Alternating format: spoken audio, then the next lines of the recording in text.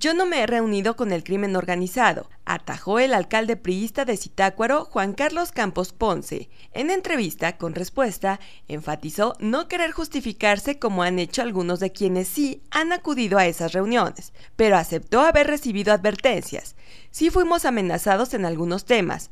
Conmigo no contarán absolutamente un video en el cual pueda estar yo con alguna de las cabecillas del crimen organizado. Fue claro con respecto a este asunto que mantiene en vilo a los ediles michoacanos. Sabemos que hay un problema con el crimen organizado. Nos queda completamente claro. Sabíamos que los alcaldes teníamos un problema con ellos, dijo, pero advirtió que no es lo mismo aquel que negoció y recibió dinero de la delincuencia para lograr ser presidente municipal y que da las facilidades para que aquellos puedan operar.